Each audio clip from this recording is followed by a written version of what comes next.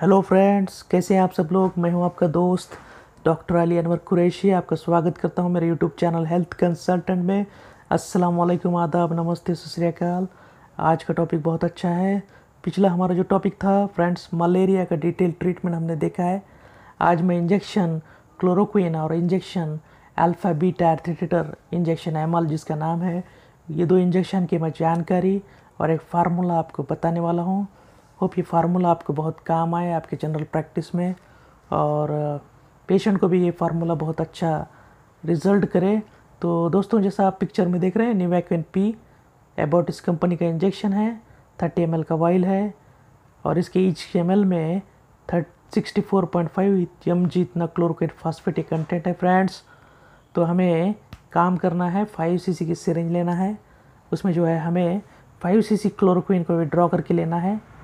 Vial में से फिर हमें पेशेंट को ये इंट्रामस्कुलर देना है फ्रेंड्स जहाँ पे भी हम जैसा बताते हैं इंट्रामस्कुलर इंजेक्शन का एक वीडियो मैंने बनाया था इसमें मैंने डॉर्सोग्लूटस और वेंट्रोग्लूटस रीजन के बारे में आपको डिटेल बताया फ्रेंड्स तो ये इंजेक्शन हमें देना है वेंट्रोग्लूटस रीजन में, जहाँ पे ग्लूटस मसल अच्छी है डेवलप हुई है।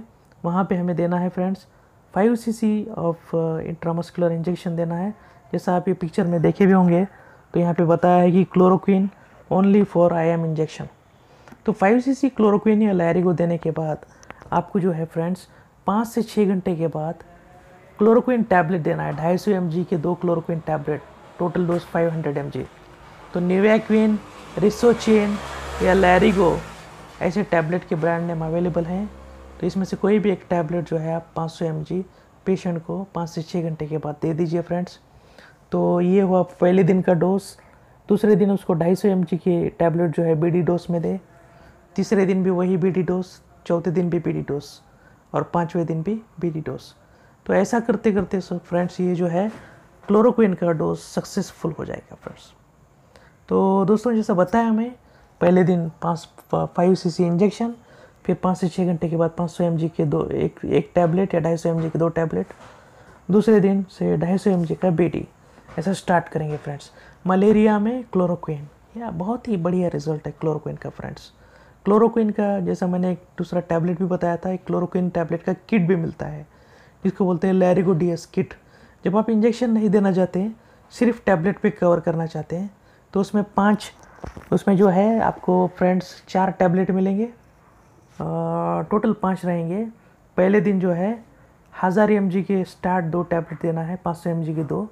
फिर फॉलोड बाय छः घंटे के बाद 500 सौ एम का एक टैबलेट दे। टोटल डोज जो हुआ फ्रेंड्स वो हुआ डेढ़ सौ एम जी डेढ़ हज़ार एम जी सॉरी दूसरे दिन 500 सौ एम जी तीसरे दिन 500 सौ एम जी ऐसा करके ये लैरिगो डीएस की किट भी हम पेशेंट को देते हैं फ्रेंड्स अब दोस्तों, जैसे मैंने आपको इंजेक्शन लैरिगो के बारे में बताया है, मैं अभी आपको जो है एक दूसरे एक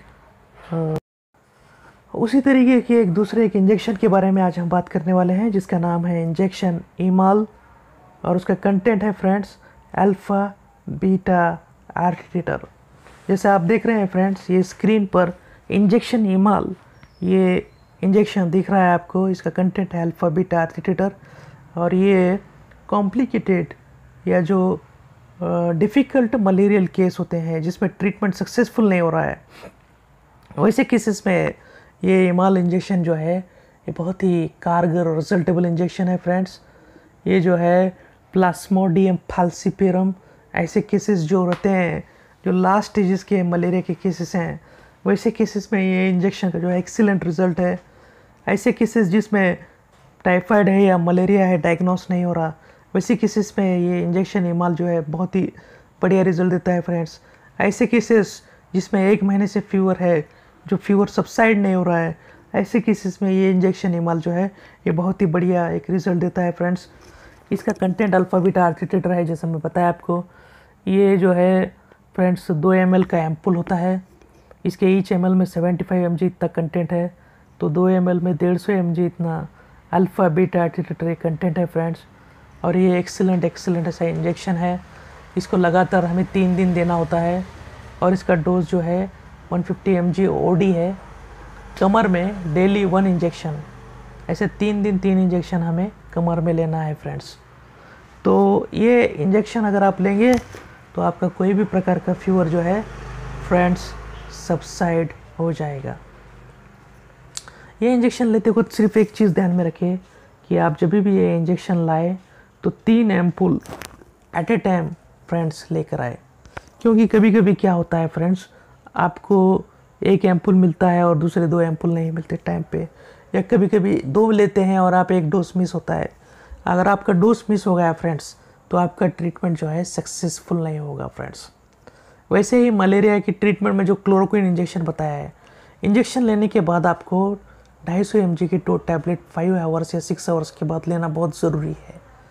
अगर आप नहीं लेंगे तो वहाँ पे भी आपका ट्रीटमेंट दोस्तों, ये फेल हो सकता है फ्रेंड्स तो जैसा यहाँ पे बता रहे हैं फ्रेंड्स मलेसिस ये भी नाम का इंजेक्शन है माल की जैसा ये इंजेक्शन है, ये भी जो है Plasmodium falciparum cerebral malaria unknown fever ऐसी जो कॉम्प्लिकेटेड कंडीशंस होते हैं, ऐसे केसेस में ये इमाल का बहुत अच्छा रोल है फ्रेंड्स दोस्तों, आपको आज का अगर वीडियो अच्छा लगा है, इसको शेयर करें, हमारे चैनल के सब्सक्राइब करें, बेल आइकन को दबाएँ। अगर सब्सक्राइब नहीं किया तो ज़रूर सब्सक्राइब करें फ्रेंड्स वीडियो को शेयर करें लाइक करना ना भूलें। Thank you thank you very much